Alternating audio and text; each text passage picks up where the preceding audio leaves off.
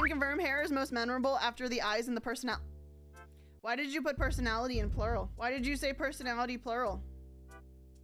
Why is personality plural? What, what does that mean? Hmm? What does that mean? What does that even mean, huh?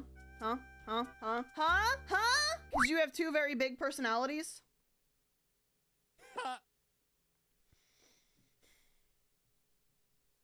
Yeah, you're getting banned. Yeah, you're getting banned.